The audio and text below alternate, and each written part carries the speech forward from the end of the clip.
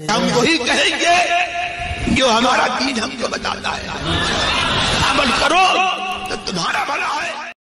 बिलालमीन वसलात वसलाम अला सय्यदिल-अंबिया वल-मुरसलीन अम्मा बअद अऊज़ु बिल्लाहि मिनश शैतानिर रजीम। बिस्मिल्लाहिर रहमानिर रहीम। इन्नल्लाह व मलाइकतहु युसल्लूना अलन नबी। या अय्युहल्लज़ीना आमनू सल्लु अलैहि व सल्लिमू तस्लीमा अल्लाहुम्म सल्लि अला सय्यदिना व शफ़ीना व हबीबिना व मौलाना मुहम्मद वबारिक वसल्लम सलातम व सलाम अलैका या रसूल अल्लाह सल्लल्लाहु ताला अलैहि माह रमज़ानुल मुबारक में अहले ईमान कसरत से कुरान मुक़द्दस की तिलावत करते हैं मेरे आका सल्लल्लाहु अलैहि वसल्लम रमज़ानुल मुबारक के मुक़द्दस महीने में कुरान मुक़द्दस की तिलावत कैसे किया करते थे? इस हवाले से इमाम बुखारी रहमतुल्लाह ताला ने यह बाब बांधा है कि बाबुन काना जबरील या अरज़ुल्क़ुरान अलनबी अलैहि वसल्लम। हज़रत जबरील का नबी अकरम सल्लल्लाहु अलैहि वसल्लम के साथ कुरान मजीद का दौर करना। शारीन फरमाते हैं कि हज़रत जबरील अलैहिस्सलाम अल्लाह के रसूल सल्लल्लाहु अलैहि वसल्लम को एक साल में जितना कुरान पहुँचाते थे, हर साल रमज़ान के महीने में उतने कुरान का दौर किया करते थे। ये हदीस पाक हज़रत मसरूक से हज़रत आयशा रदी अल्लाह ताला से रिवायत है। वो हज़रत फ़ातिमतुज़हरा रदी अल्लाह ताला अनहा से रिवायत करती हैं कि असर नबी सल्लल्लाहु ताला वसल्लम, अन्ना जबरीला काना यु आरिजुनी बिलकुरान कुल्ला सनतिन व इन्नहु आरजनिल आमा मर्रतैन वला उराहो इल्ला हज़रा अजली। हज़रत फ़ातिमा रदी अल्लाह ताला फरमाती हैं कि अल्लाह के रसूल सल्लल्लाहु अलैहि वसल्लम ने मुझसे ये सरगोशी की, यानी मेरे कान में ये बात कही। कि हज़रत जबरील हर साल मेरे साथ दो मरतबा कुरान मजीद का दौर करते हैं। इस साल उन्होंने मेरे साथ दो मरतबा कुरान मजीद का दौर किया। हर साल मेरे साथ कुरान मजीद का एक दौर करते हैं। इस साल दो मरतबा दौर किया। तो मेरा गुमान यह है कि अब मेरी वफ़ात का वक्त करीब आ गया है। यानी हज़रत जबीर अलैहिस्सलाम हर साल आते थे तो एक बार कुरान का दौर होता था। इस साल दो दौर हुए हैं। लगता है कि अब अल्लाह से मुलाकात का वक्त करीब आ गया। और इस दूसरी हदीस पाक में है, जो हज़रत इब्न अब्बास रदी अल्लाह तुमा से रिवायत है कि कान नबी अलैहि वसल्लम अजवदन नासे बिल खैर। अल्लाह के रसूल सल्लल्लाहु अलैहि सबसे ज़्यादा खैर की सखावत करते थे। वह अजवद मा यकून फ़ी शहर रमज़ाना। और सबसे ज़्यादा सखावत आप रमज़ान के महीने में करते थे। और फरमाते हैं कि ले अन्ना जबरीला काना यलका हो फ़ी कुल्ल मिन शहर रमज़ान हत्ता यन सलीखा या अरद रसूल अलैहि अलक़ुरान क्योंकि हज़रत जबीर अलैहिस्सलाम आपसे रमज़ान के महीने की हर रात में मुलाकात करते थे, यहाँ तक कि रमज़ान का महीना ख़त्म हो जाता था। तो फ़ैदा लक़िया जबरील तो जब जबीर अलैहिस्सलाम से मुलाकात होती थी, काना अजवदा बिलखैर मिनर रिहिल मुरसला। तो आपसे जबीर अलैहिस्सलाम जब मुलाकात करते तो आप बारिश बरसाने वाली हवाओं से भी ज़्यादा सखावत किया करते थे। अल्लाह के रसूल अलैहिस्सलाम की इन दो सिफ़ात को यहाँ पे बयान किया गया एक तो रमज़ान मुबारक के महीने में कुरान का दौर करना और दूसरा रमज़ान मुबारक के महीने में कसरत से सखावत करना। इस हवाले से शारइन फरमाते हैं, इससे ये मालूम हुआ कि रमज़ान का महीना इसलिए अजीम है कि इसमें कुरान मुक़दस के नज़ुल की इब्तदा हुई और इस महीने में जबीर अलैहिस्सलाम के साथ मेरा आका अलैहिस्सलाम का कुरान का दौर होता था तो लिहाजा इस महीने में कसरत से कुरान की तिलावत करना चाहिए। और इस हदीस से ये भी मालूम हुआ कि ज़माना की फजीलत सिर्फ़ उस ज़माने में ज़्यादा इबादत करने की वजह से हासिल होती है। मतलब समझे कि अभी रमज़ान मुबारक का महीना चल रहा है, लेकिन इसकी फजीलत उसी को हासिल होगी जो इस महीने के अंदर इबादत करेगा। वरना अगर जो पहले जैसे चल रहा था, वैसे ही अब भी चल रहा है तो उसके लिए माह रमज़ान की फजीलत का फिर क्या मतलब रह गया? तीसरी बात ये मालूम हुई कि कुरान मजीद की तिलावत करने से ज़्यादा खैर हासिल होती है। इस हदीस पाक से पता चला। और इससे ये भी मालूम हुआ कि उम्र के आखिरी हिस्से में ज़्यादा इबादत करना चाहिए। अल्लाह के रसूल सलाम फरमाते हैं, मैंने दो दौर की ये कुरान के। लगता है कि मेरे रब से मुलाकात का वक्त आ गया है। तो इससे पता चला कि इंसान की ज़िंदगी जब पूरी होने लग जाए तो और ज़्यादा इबादत करना चाहिए। ऐसा नहीं कि अब तो हाथ पाँव जो है वो जवाब दे गए, खड़े होने की ताकत नहीं है, अब इबादत ज़्यादा नहीं नहीं। हज़रत अब्दुल्ला इबन मसूद रदी अल्लाह तु से किसी ने कहा था ना कि बुढ़ापे में आप इतनी इबादत करते हैं, फरमाया, घोड़े को आखिरी वक्त में और तेज़ दौड़ाना चाहिए ताकि मंजिल मकसूद तक पहुँच जाए। तो इस हदीस पाक से भी ये मालूम हुआ कि हमारे ज़माने में भी लोगों का ये मामूल है कि जब बूढ़े हो जाते हैं तो मस्जिद में आ जाते हैं और वाकई बुढ़ापे में इबादत ज़्यादा करना चाहिए। इस हदीस में ये भी दलील है कि रमज़ान की रातें रमज़ान के दिनों से अफजल हैं। क्योंकि कुरान मुक़दस का जो ये दौर होता था अल्लाह के रसूल सलाम का, वो दिन में नहीं होता था, रात में हुआ करता था। तो इससे माए रमज़ान मुबारक की रातों की फजीलत भी पता चली। अच्छा इसमें जो ये सखावत का ज़िक्र है, अल्लाह के रसूल सलाम जब जबरील सलाम के साथ मुलाकात करते तो सखावत आपकी बढ़ जाया करती थी। उसकी वजह क्या है? तो फरमाते हैं कि इस महीना की चूँकि बाकी महीनों पर फजीलत है और इस महीने में सदक़ात का सवाब दोगुना तिगना कर दिया जाता है तो इसी तरह इसमें सदका व खैरात का सवाब भी बढ़ा दिया जाता है। हज़रत सलमान फ़ारसी रदी अल्लाह तु का बयान है कि मैंने अल्लाह के रसूल सलाम से सुना कि जिसने इस महीने में कोई नफली नेक काम किया, वो ऐसा है जिस तरह उसने दूसरे महीने में फ़र्ज़ अदा किया और फ़र्ज़ अदा करे तो सत्तर फ़र्ज़ के बराबर सवाब मिलता है। तो इबादत का सवाब बढ़ जाता है तो मेरा आका इस्लाम इस महीने में सदका ज़्यादा किया करते। और इमाम जहरी ने कहा है कि रमज़ान के महीने में एक बार तस्बी पढ़ना दूसरे महीने में सत्तर बार तस्बी पढ़ने से अफजल है। और एक वजह उसकी ये भी है कि इस महीने में इनाम ज़्यादा किया जाता है। क्योंकि हदीस पाक में है कि इस महीने में मोमिन का रिस्क ज़्यादा कर दिया जाता है तो अल्लाह के रसूल सल्लल्लाहु अलैहि वसल्लम इस महीने में सखावत भी ज़्यादा करते। और हदीस पाक में ये भी है कि इस महीने में रोज़ाना जहन्नम से दस लाख लोगों को आज़ाद किया जाता है। तो इस महीने में रहमतें बढ़ जाती हैं तो अल्लाह के रसूल अलैहिस्सलाम की सखावत भी बढ़ जाती थी। तो इसी वजह से अल्लाह के रसूल अलैहिस्सलाम ज़्यादा सखावत करते। और एक वजह यह भी है कि ज़्यादा सखावत करना शुक्र अदा करने का तरीका है। और शुक्र अदा करने से अल्लाह ताला की नेमत ज़्यादा होती है। इसलिए मेरे आका अल्लाह का शुक्र अदा करने के लिए इस महीने में सखावत ज़्यादा किया करते। और इसमें हदीस पाक से एक बात ये भी मालूम हुई कि रमज़ान के महीने में कुरान मजीद की कसरत से तिलावत करना मुस्तहब है, ताकि आपकी उम्मत इस पर अमल करे। आप भी इसलिए कसरत से तिलावत फरमाया करते थे। और एक वजह उसकी ये भी मालूम हुई कि कुरान मजीद की तिलावत करना, तस्बी दिगर वजीफ़ों से ज़्यादा अफजल है। क्योंकि अल्लाह के रसूल सलाम इस महीने में तिलावत ज़्यादा किया करते थे। तो इससे पता चला कि दूसरी तस्बीहात से ज़्यादा सवाब इस महीने के अंदर तिलावत कुरान मुक़दस का है। अच्छा एक बात इस हदीस पाक में गौर करने से भी मालूम होती है कि अल्लाह के रसूल सलाम अकेले कुरान पाक नहीं पढ़ते। हज़रत जबरील सलाम आते और मेरे आका सलाम और दोनों मिलकर के कुरान का दौर करते थे। अब आप ज़रा तस्वुर करें, हज़रत जबरील सलाम पढ़ रहे हों, मेरे आका सलाम सुन रहे हों, या अल्लाह के रसूल सलाम पढ़ रहे हों, हज़रत जबरील सलाम सुन रहे हों तो कुरान पढ़ने में कितना मज़ा आता होगा और सुनने में कितना मज़ा आता होगा। और वो कुरान का जो दौर होता होगा कितनी जो है वो पुरबहार फ़ज़ा होती होगी और उस लम्हे के अंदर कितनी नुरानियत होगी बंदा उसका अंदाज़ा नहीं कर सकता। तो इससे ये पता चला कि नेक लोगों के साथ मजलिस के अंदर बरकत हुआ करती है। तो जब बंदा कोई नेक काम करे तो नेक लोगों के साथ मिलकर के करना चाहिए। उससे बरकत मिला करती। है इसीलिए हज़रत लुकमान ने अपने बेटे से कहा था, बेटे ओलमा की मजलिस में बैठो। उनके सामने अपने जानू तय करो, क्योंकि अल्लाह ताला हिकमत के नूर से दिलों को इस तरह ज़िंदा करता है, जिस तरह मुर्दा ज़मीन को बारिश से ज़िंदा करता है। तो ओलमा के साथ बैठ करके मुजाकरा किया करो। और इस हदीस पाक में एक बात ये भी मालूम हुई कि नेक आमाल की बरकत होती है कि नेक आमाल एक दूसरे की मदद करते हैं।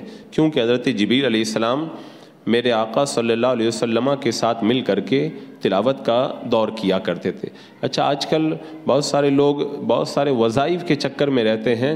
हालाँकि कुरान मुक़द्दस ख़ुद एक ऐसा वजीफ़ा है कि बंदा अगर इस वजीफ़े को अपना ले तो किसी और वजीफ़े की ज़रूरत ही नहीं है।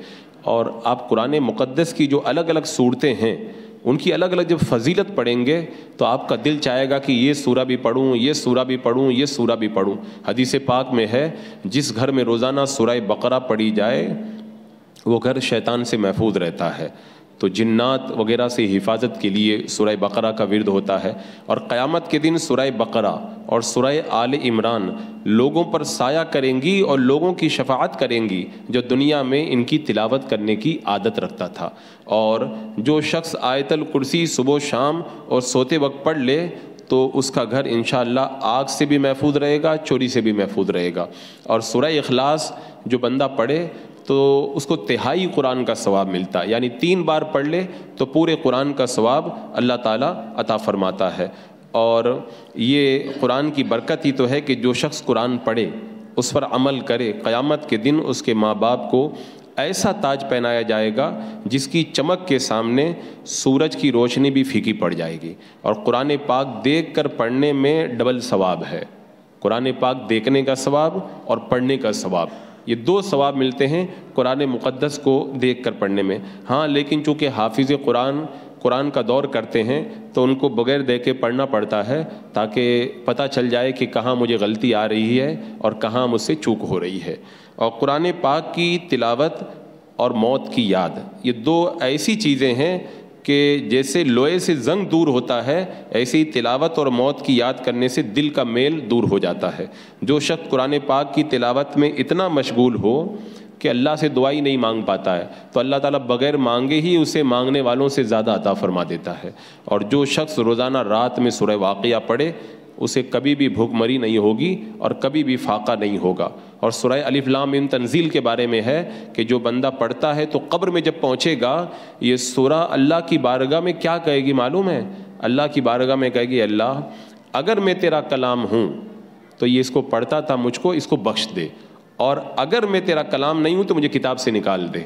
और मैयत को वो ऐसे ढक लेती है ये सूरा, जैसे परिंदा अपने परों में अपने बच्चों को ढांक लिया करता है। अब आज हम ये सब सुन रहे हैं फजीलत, और हमारी रगबत इनकी तरफ़ नहीं होती, जो कब्र में है, उनको ये मौका मिले तो इससे कितना वो लोग फ़ायदा उठाएँ। और फरमाया गया जो सुरह यासीन, अव्वल दिन में, यानी दिन शुरू हो तब पढ़ ले, दोपहर से पहले तो पढ़ने का जो आदि हो, अल्लाह ताला उसकी तमाम ज़रूरतों को पूरा कर देगा। बल्कि सुरह यासीन के बारे में तो यहाँ तक फरमाया गया, सुरह यासीन जिस मकसद के लिए पढ़ी जाए, उस मकसद की कामयाबी की वो ज़मानत है। और फरमाया, सुरह यासीन पढ़ने वाले के तमाम गुना माफ़ कर दिए जाते हैं और मुश्किलों को आसान कर दिया जाता है। ऐसे ही ये चंद सूरतों के हवाले से मैं इसलिए बता रहा हूँ ताकि आपके दिल में ये जज्बा पैदा हो और मेरा आका इस्लाम रमज़ान में जैसे दौर करते थे, हम रमज़ान मुबारक में और ज़्यादा कुरान मुक़दस का दौर करें। सुरह कुलियाल काफिरून, जो बंदा सोते वक्त पढ़ ले, अल्लाह ताला उसे कुफ्र से बचाएगा और उसकी मौत अच्छी होगी। और जो सुरह फ़लक नाज पढ़ ले तो अल्लाह तबारक ताला उसे जादू से महफूज फरमा देगा। और सुरह फातिहा तो तमाम बीमारियों का इलाज है ही। अच्छा एक बात ये भी है कि बहुत सारे लोग ये सोचते हैं कि कुरान मुक़दस की तिलावत का तरीक़ा क्या होना चाहिए। इस हवाले से बुज़ुर्गान दीन की आदत ये थी कुछ लोग तो एक दिन में आठ आठ कुरान पाक ख़त्म करते थे और कुछ लोग तो एक दिन में एक एक हज़ार कुरान पाक भी ख़त्म कर देते थे। अब ये चीज़ समझ में आने वाली नहीं है, ये सब करामत है और करामत ही के ज़रिए मुमकिन है। जैसा कि हज़रत अली रदी अल्लाह तु जो है वो घोड़े की जीन तैयार होती थी, एक तरफ़ पाँव रखते, कुरान पाक शुरू करते और सवार होते होते पूरा कुरान पाक ख़त्म कर दिया करते थे। बाद लोग जो है वो चार दिन में और चार रात में जो है वो ख़त्म करते। कुछ लोग रोज़ाना दो ख़त्म करते, कुछ लोग रोज़ाना एक ख़त्म करते और कुछ लोग पाँच दिन में और कुछ लोग सात दिन में ख़त्म करते थे। अब सवाल ये है कि हम कुरान मुक़दस कैसे ख़त्म करें? इस हवाले से सिलसिला आलिया कादरिया का जो बुज़ुर्गों का दस्तूर है, जिन लोगों को शजरा शरीफ मिला है, उन्होंने शजरा शरीफ के अंदर पढ़ा भी होगा। ये वजीफ़ा आप लोग करके देखें इन सारी ज़रूरतें पूरी हो जाएँगी तिलावत के ज़रिए। बारह कुरान मुक़दस ख़त्म करें। एक हफ़्ते में एक कुरान पाक ख़त्म हो और लगातार बारह हफ्तों में बारह कुरान मुक़दस ख़त्म किए जाएँ। पढ़ने का तरीका क्या हो? सनीचर के दिन शुरू, ये जुमा के दिन शुरू किया जाए और जुमेरात को ख़त्म किया जाए। यानी जुमा को शुरू करें सुरह फातिहा से सुरह मायदा के ख़त्म तक। सनीचर को सुरह अनाम से सुरह तौबा तक। और इतवार को सुरह यूनुस से सुरह मरियम के ख़त्म तक, और पीर को सुरह तहा से सुरह कसस के आखिर तक, और फिर मंगल को सुरह अनकबूस से सुरह स्वाद के आखिर तक, और बुध के दिन सुरह ज़ुमर से सुरह रहमान के आखिर तक, और फिर जुमेरात को सुरह वाक़ से, कुरान पाक ख़त्म तक। ये तरीका अगर आपको याद न रहे तो जो शजरा शरीफ आपको मिला है, उसके अंदर आप देख लें सिलसिला कादरिया के मशाइक ने फरमाया कि जो पाबंदी के साथ अलल इत्तेसाल बारह कुरान मुक़दस इस तरह से ख़त्म कर देगा, उसकी तमाम ज़रूरतों के पूरा होने के लिए इकसीर आज़म है। यानी उसकी ज़रूरतें अल्लाह ताला ज़रूर पूरी फरमा देगा। और वैसे इमाम बुखारी रहमतुल्लाह ताली का तरीका था कि हमेशा तो वो हदीस शरीफ लिखते, हदीसें बयान करते, लेकिन जब रमज़ान मुबारक का महीना आता तो अहादीस को लिखना और सुनाना बंद कर देते और फिर पूरा महीना सिर्फ़ कुरान पढ़ते और ख़त्म किस वक्त करते? जब इफ्तारी का वक्त आता तो कुरान पाक रोज़ाना एक ख़त्म करते। कहते, इफ्तारी का वक्त, दुआ के कबूल होने का वक्त और कुरान मुक़दस जब ख़त्म हो तो ये भी दुआ के कबूल होने का वक्त। इस तरीके से दो दो कबूलियतें जब जमा हो जाएँगी तो अल्लाह ताला इसकी बरकतों से हमें माला माल फरमाएगा। और इस हवाले से दो चार बातें मैं अर्ज़ कर दूँ, ताकि कुरान की तिलावत तो बहुत सारे लोग करते हैं, लेकिन उसका पूरा फ़ायदा नहीं हासिल हो पाता। कुरान की तिलावत का एक तरीक़ा होना चाहिए। हदीस पाक में है, जिस घर में कुरान पढ़ा जाता है वो अहले आसमान के लिए ऐसे जीनत होता है जैसे सितारे ज़मीन वालों के लिए। हम सितारे देखते कितने खूबसूरत लगते हैं। ऐसे ही जिस घर में कुरान पढ़ा जाता है, फरिश्ते भी उस घर को ऐसे ही देखा करते हैं। और हदीस पाक में है, अपने मकानों को नमाज़ और कुरान की तिलावत से रोशन करो। फरमाया, मेरी उम्मत में सबसे बेहतरीन इबादत कुरान मुक़दस की तिलावत है। कुरान मुक़दस की तिलावत अगरचे बग़ैर वज़ू भी जायज़ है, लेकिन वज़ू कर लेना मुस्तहब है। और कुरान मुक़दस को नापाकी की हालत में नहीं छूना चाहिए, और मुस्तहब यह है कि तिलावत करने वाला किबला की तरफ़ मुँह करे। न्यायती आजजी इनकसारी खुशु व खुजू से दिल को हाजिर करके, सर को झुका करके इत्मीनान के साथ कुरान मुक़दस पढ़े। पढ़ने से पहले मिसवाक करके अपने मुँह को खूब साफ़ कर ले और क़रात में तरतील सुन्नत है। कुरान मुक़दस की तिलावत में तरतील सुन्नत है। हज़रत उम सलमा रदी अल्लाह तहा की का बयान है, अल्लाह के रसूल अलैहिस्सलाम इस तरह कुरान की तिलावत फरमाते थे कि एक एक हर्फ साफ़ साफ़ मालूम होता था। तो ऐसे अलग अलग एक एक हर्फ को साफ़ साफ़ अदा करना ये सुन्नत है। हज़रत अब्दुल्ला इबन मसूद रदी अल्लाह तु ने बयान किया कि कुरान शरीफ जब दिल में उतरता है तो उसमें जमता है और नफ़ा देता है।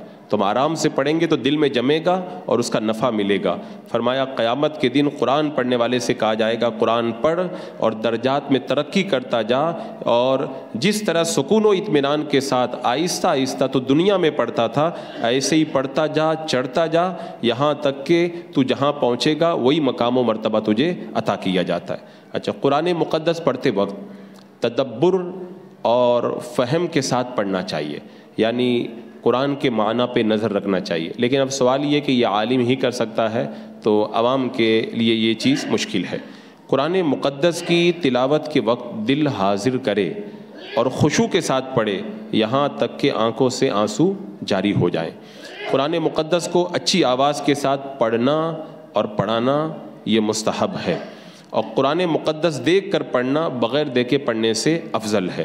कुरान की तिलावत के दौरान हंसना बेफ़ायदा बातें करना इधर उधर देखना, ये सब मकरू है।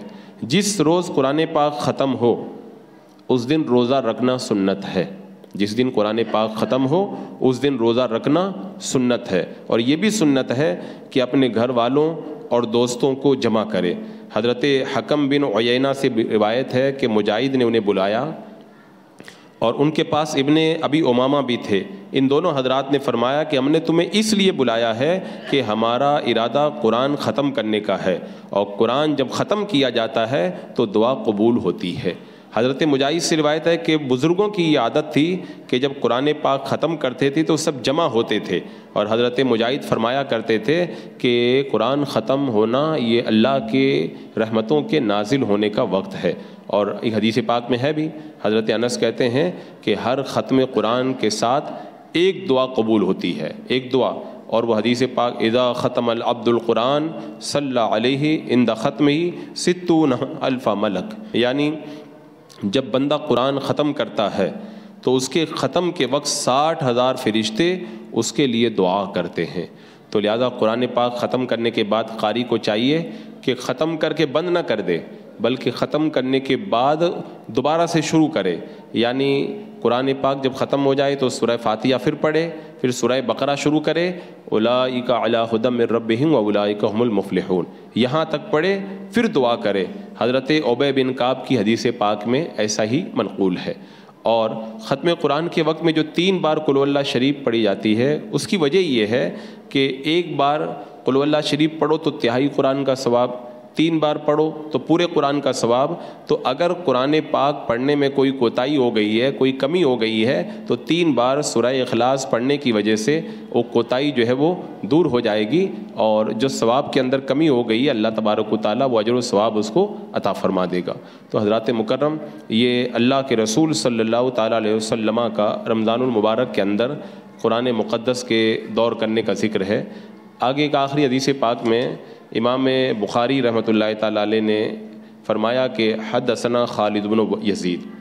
Khalid bin Wajid ने हदीस बयान की, उन्होंने कहा, हमें अबू बकर ने हदीस बयान की, वो रिवायत करते हैं हज़रत हसीन से, व अबू साले से, व अबू हुररा से। काना या अरज़ो अलनबी सल्ला वसम अलकुरान कुल आमिन मर्रतन। अल्लाह के रसूल अलैहिस्सलाम पर हर साल एक मरतबा कुरान मुक़दस पेश किया जाता था। तो जिस साल आपकी वफ़ात हुई, उस साल आप पर दो मरतबा कुरान मुक़दस पेश किया गया। आप हर साल दस दिन एतकाफ़ करते थे, लेकिन जिस साल आपका वसाल हुआ, उस साल आपने बीस दिन का एतकाफ़ किया। दो बार कुरान पाक के बारे में मैंने बताया, ये बीस दिन के एतकाफ़ का मतलब क्या है?